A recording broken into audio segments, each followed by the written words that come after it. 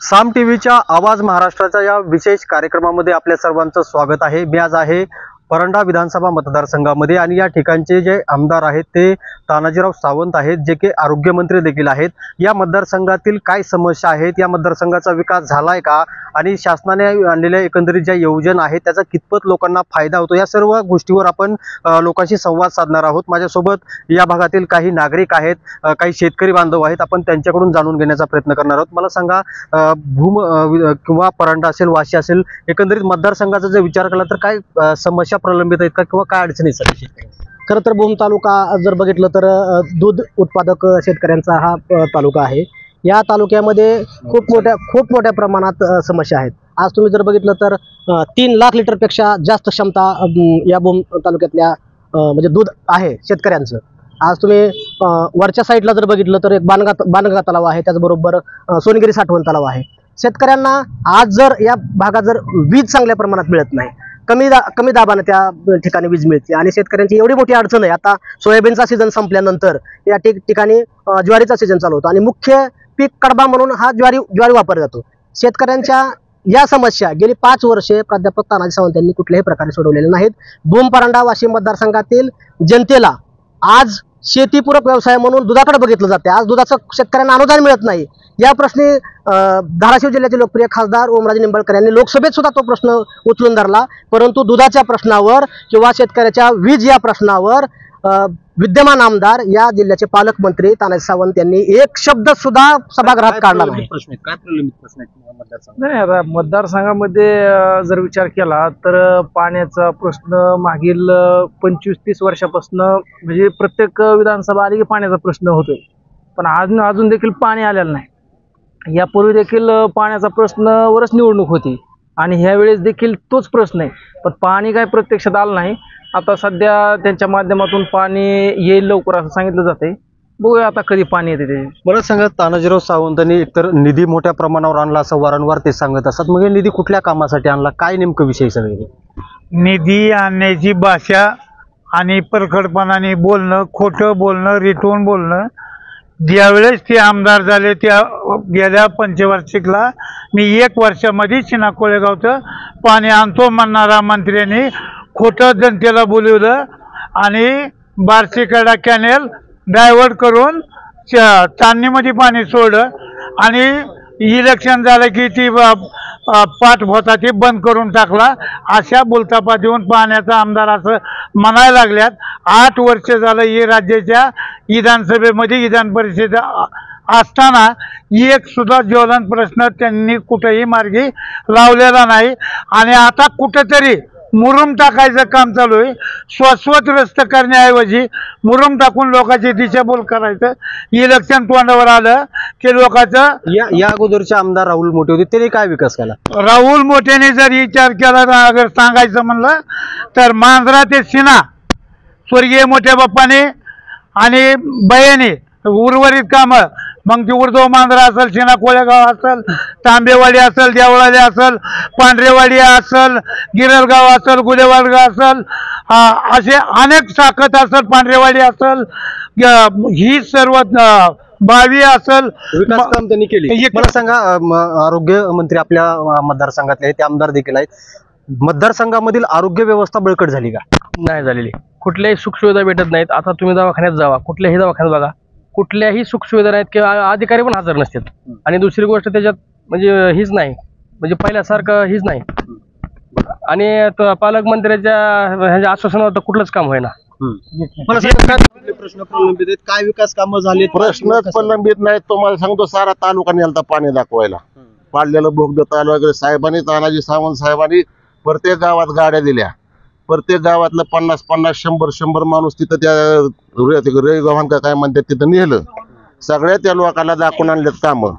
त्यामुळे झाकून ठेवायचा कुठला संबंध नाही. सावंत साहेबांनी तुम्हाला सांगतो पदर लोकाला आता प्रत्येक रस्ता.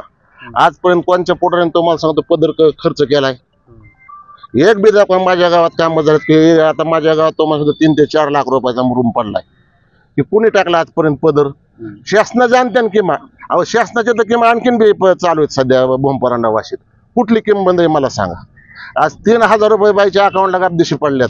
की ते बाया भगिनी किती खुश आहेत किती आनंद येतात बायाचा काय आनंद गंगनात मावे नाही. त्याचा फायदा महा महायुतीला होईल. आता ते फायदा होईल नाही तर नाही होईल पण आज महिलाला आनंद आहे का नाही? प्रश्न आणखी. ह्याच्यावर मला त्यांनी. जाहिरात करते सध्या. जाहिरातीचं टेम्पो येतो गावात. पण गावातले जे रस्ते झालेले नाही त्याची सुद्धा त्यात नावं सांगितली आता माझ्याच गावचा रामेश्वरचा रस्ता झाला म्हणून सांगते त्याच्यात.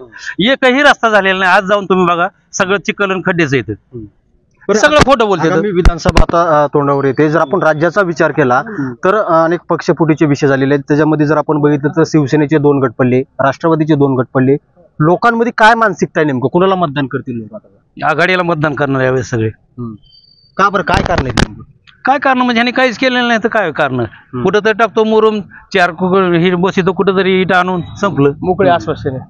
मला सांगा आता हे म, पक्षफुटीचं अनेक राजकारण झालेलं आहे.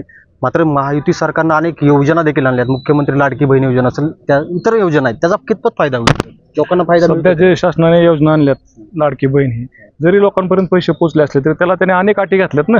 अटीमुळे ते लोक कागद गोळा करता म्हणजे कागदपत्र करता करताच पैसे नाहीत. त्यामुळे लोकांमध्ये असं काय त्याचं एवढं म्हणजे हे नाही. त्यांना द्यायचंच होतं पैसे तर सरळ सरळ लोकांच्या खात्यावर महिलांच्या खात्यावर त्यांनी पैसे देणं गरजेचं होतं. आणि हे सरकार शेतकरी विरोधी सरकार आहे. तुम्ही आज गेली पाच वर्ष बघता शेतकऱ्याच्या कुठल्या शेत शेतमालाला भाव आहे? आज सोयाबीनची काय परिस्थिती? सोयाबीनला आज जवळजवळ पस्तीसशे छत्तीसशे रुपये भाव आहे. आणि जे शासनाने पंधरा लाख टन सोयाबीन खरेदी केले ते सोयाबीन आपल्याला सात हजार रुपयाच्या आसपास खरेदी करून म्हणजे येऊन पडतंय. आणि शेतकरी आपल्या शेतकऱ्याला भाव आहे ते चार हजार रुपये. त्याच्याऐवजी त्यांनी हे तर सहा हजार जरी शेतकऱ्याला भाव दिला असता तरी शेतकरी आमचं समाधान झालं असता सरकारवर. पण सध्या कुठलाही शेतकरी समाधान नसल्यामुळे ते सरकार निष्क्रिय सरकार आहे. मुख्यमंत्री तर वारंवार मी शेतकऱ्याच्या बाजूने असल्याचं म्हणतात भविष्यामध्ये जर विधानसभा झाली तर कुणाचाच चेहरा तुम्हाला मुख्यमंत्री म्हणून आवडेल आता चेहरा महाविकास आघाडीतला जे काय आता लगेच चेहरा वगैरे सांगता येणार नाही ना आवडणं वगैरे कारण कुणाच्या जागा किती येतात आपण जरी म्हणलं तर त्याच्यावर ते पुढचा निर्णय होणार ना. मतदार जे विकास कामाबद्दल बोलताय खरोखर गेली तीस वर्षात जे विकास नाही झाला ते नामदार तानाजी तानाजीराव सावंत साहेबांनी आत्ता ह्या गेली अडीच वर्षात केला आहे कारण त्याचा लाभार्थी मी आहे स्वतः. कारण माझ्या गावाला दोन्ही रस्ते नव्हते. दोन्ही रस्ते साहेबांनी मंजूर करून दिलेत. शेतरस्ते असतील गावातलं जलजीवनचं पाणी पुरवठ्याचं काम असेल कुठलंही काम साहेबापर्यंत गेलं की कुठलंही मोकळ्या हाताने महागारी आता कुणीच येत नाही. विरो- विरोधकातला असो नाही तर सत पक्षातला असो. विकास काम. विकास कामं साहेबाची एकदम उत्कृष्ट आहे. आणि मला एकच म्हणायचं आहे की जर तालुक्याचा नेता खंबीर असेल तर विकास यायला कुठेही कमी पडत नाही. मतदारसंघामध्ये जर आपण पाहिले तर अगदी खवाभट्टीचा व्यवसाय आपण करता काय प्रामुख्यानं अडचणी आहेत? ह्या पट्ट्यामध्ये दूध उत्पादन जास्त आहे. काय अडचणी आहेत नेमकं? सध्या या परिसरामध्ये पंचवीस ते तीस टन खवा निर्मिती होते. परंतु सध्या अशी अडचण आहे की खाऊ उत्पादकांना शासनाचं अनुदान भेटत नाही. त्याच्यामुळं जो सर्वसामान्य वर्ग आहे दूध उत्पादक तो अडचणीत आहे. दुसरी गोष्ट असं आहे की खाऊ उत्पादन जे आहे त्यात आपण पहिल्यांदा भारतातला पहिला सोलरवरती खवा निर्मितीचा प्रकल्प केला आहे पण असे प्रकल्प प्रत्येक गावागणीच होणं गरजेचं आहे.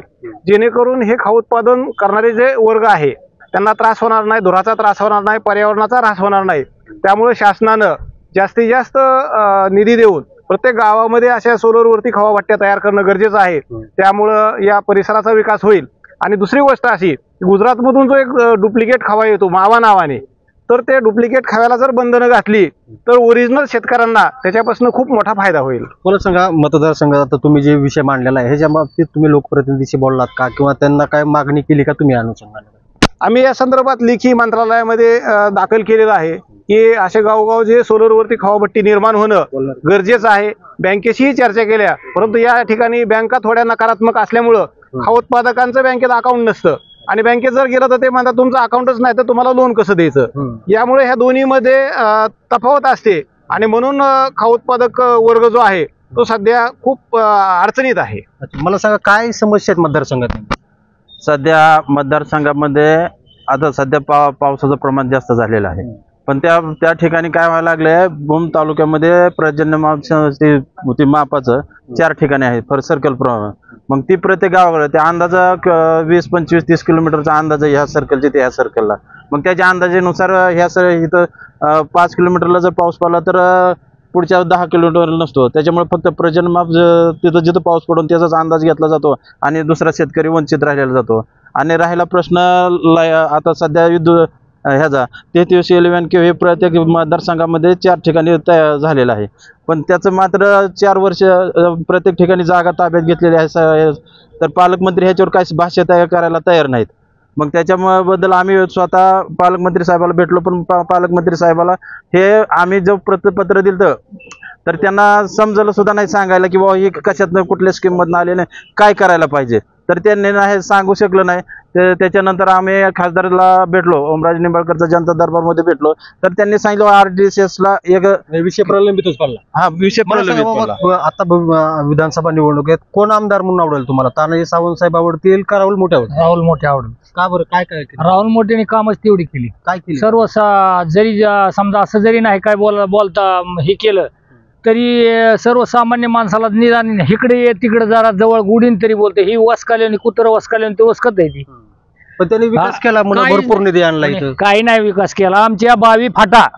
ते भवानवाडी गाव. आता बी चालायचं आता बी बघायला गेलं तर गुडघे इतकेल खड्डे आहेत तिथं. गुडघे इतकेल खड्डे आहेत. माणसाला साध्या माणसाला सुद्धा चालायला येईना तिथं. हा आणि विकास काय केला? कसलाच विकास नाही. कुठलं सरकार येईल? म्हणजे काय तुमच्या मतदारसंघातलं अडचणी आहेत आणि कोण आमदार म्हणून आवडेल हे जे सरकार आहे हे सरकार लोकशाही विरोधी सरकार आहे म्हणायला काय हरकत नाही. अहो बघा पंचायत समितीच्या मुदत संपून किती दिवस झाले? जिल्हा परिषदची मुदत संपून किती दिवस झाले? सर्वसामान्य लोकांची जी कामं असतात ना हे जिल्हा परिषद आणि पंचायत समितीमध्ये असतात. काय? किंवा किमान तो पंचायत समितीच्या सदस्याला म्हणू शकतोय बाबा रे चल माझी विहीर मंजूर करायची. चल मला घरकुल पाहिजे. पण आता हे सांगायचं कुणाला? व्यथा कुणाला सांगायच्या जिल्हा परिषद मेंबर असला तर ते त्याच्या मर्यादितली कामं तर करू शकतो. ही निवडणुकाच घेऊ शकत नाहीत. काय? तर हे सर्वसामान्य लोकांची कामं काय करणार? आता मी स्वतः तानाजी सावताला मतदान केलेला माणूस आहे. त्यांनी आशा डावल्या किंवा हो, आम्ही पाणी आणू. आम्हालाही वाटलं आमदार नसताना इतकी कामं करतोय. नद्या उकरीतोय. ही करतोय. आमदार झाल्यावर काहीतरी करेल.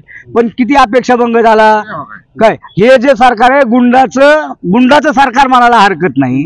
नक्कीच जर आपण पाहतो अगदी परंडा विधानसभा मतदार मतदारसंघाचा जो आढावा आहे तो आपण घेत होतो. आणि यामध्ये नागरिक होते शेतकरी होते. तानाजीराव सावंत यांनी काही विकास कामं केले तर काही जणांचं म्हणणं होतं की अजिबात विकास झाला नाही. जर आपण पाहिलं तर अगदी राज्य लेवलचा जर आपण विचार केला तर महाविकास आघाडी असेल किंवा महायुती असेल अनेक प्रश्न प्रलंबित आहेत. अनेक नागरिकांच्या समस्या देखील प्रलंबितच आहेत. त्यामुळे आगामी काळामध्ये नेमकं जनता कौल कुणाला देणार हे देखील आता पाहणं तितकंच महत्त्वाचं ठरणार आहे.